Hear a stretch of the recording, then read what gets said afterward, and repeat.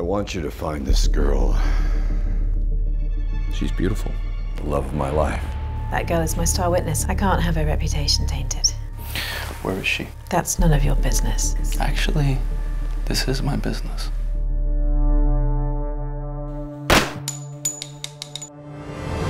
See the glass in her hand? What about it? I want you to lift the fingerprints off of it and run a check for me.